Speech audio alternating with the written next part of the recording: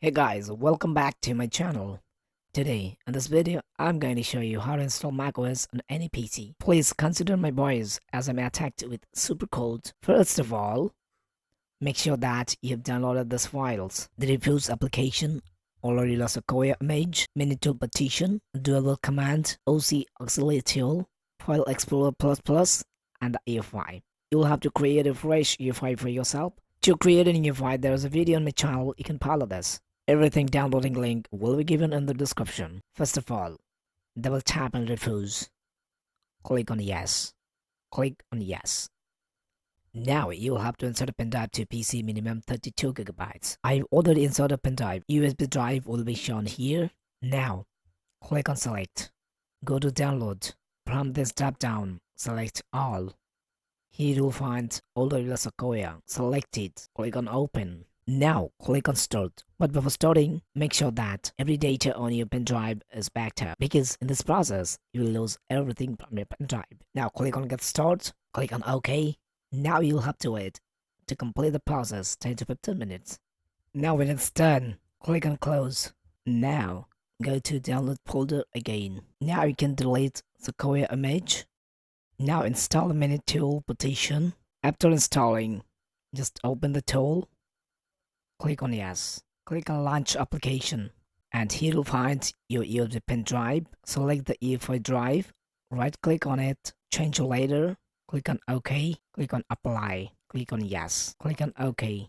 Minimize this. Go to download folder again. Now open the OCAT folder. Run the auxiliary tool. Double tap on it. Go to the folder again. Go back. Go to EFI folder. Go to OC. And you'll find config.plist select and drag and drop it to the OCAT. Minimize the folder. If you find this type of error, click on it. Click on save. Now you can see it's validated. Now when it's done, close it. Go to download folder again. Go back. Now open Explorer++ folder. Right click on this application. Run as administrator. Click on yes. Now go to download folder. Right click on the EFI. Click on copy go to this PC and open the EFI drive. Right click on here, paste it. Click and replace the file destination. Now it is done. Close it. Now close it. Now right click on the start menu. Click on disk management. Now here you'll have to create a drive with minimum 100 gigabytes of space. Right click on the bigger drive, click on shrink volume. Up to selecting the space, click on shrink. Now right click on the unallocated space, new simple volume, click on next, click on next, click on next, put the drive name as macOS, click on next, click on finish. Now it's done. Now you'll have to restore the PC and access the BIOS menu of the PC. To access the BIOS menu, you can refer this photo, otherwise you search in Google. In the BIOS menu, you'll have to set the following parameters. Now after setting all the changes, go back and click and select save and exit. Click on yes. Click on save changes and reboot. Click on yes. Now this time you'll have to access the boot menu.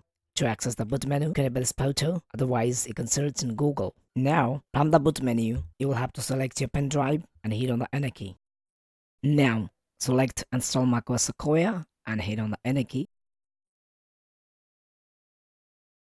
Now select disk utility, click on continue. Now click on this drop down, select show all devices. Now select this macOS drive, click on erase. From the drop down, select APFS, click on erase. It's done. Click on done, close it. Now select install macOS Sequoia, click on continue. Click on continue. Click on agree. Again click on agree. Now select macOS drive, click on continue. Now the installation process will take 30 to 45 minutes. You'll have to wait. During the installation, your PC may restart several times. Whenever PC restarts, you'll have to access the boot menu and you'll have to boot up your PC from the USB. Again, access the boot menu, select open drive, hit on the enter key. Now this time you'll see macOS installer, select it and hit on the enter key.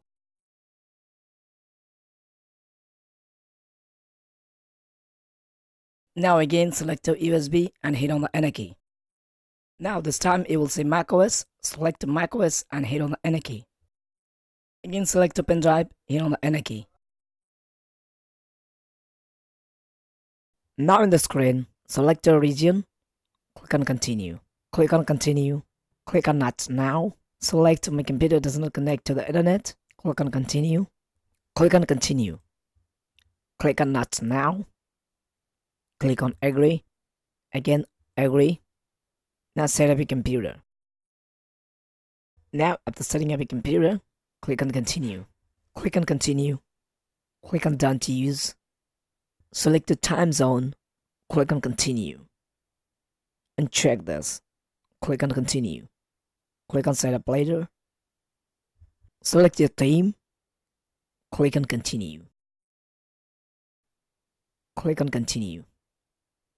Click on quit. Now, go to settings. Click on display and just set up your screen resolution. Now open install macOS Sequoia drive. Select the folder files and drag and drop it to the desktop.